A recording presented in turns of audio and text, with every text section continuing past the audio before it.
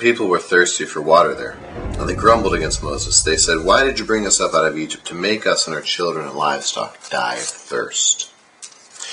And Moses cried out to the Lord, What am I to do with these people? They're almost ready to stone me. The Lord answered Moses, Walk on ahead of the people. Take with you some of the elders of Israel, and take in your hand the staff with which you struck the Nile, and go. I will stand there before you by the rock at Horeb. Strike the rock, and water will come out of it for the people to drink. So Moses did this in the sight of the elders of Israel.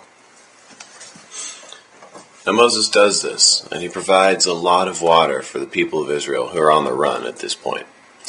They're thirsty, they're dry, and you have to remember a lot of scripture was written in one of the most arid parts of the world, one of the driest parts of the world. And a lot of scripture speaks about water and how important it is to life. You see Jesus referred to as living water, as bringing water. You see blessings of God referred to as being rained down upon the people. It was so rare an occurrence for rain to fall or the water be freely given that for Jesus to use this imagery, the people understood automatically. Look, here's something we need. And we lose this today because rain falls so quickly and so easily, and we can go to the store and buy bottled water. We can turn on the tap and have water in our house.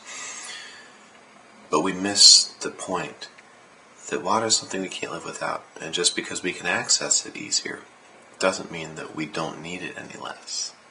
So think about this week. You know, listen to some music that features water. Listen to some music that features Jesus described as water.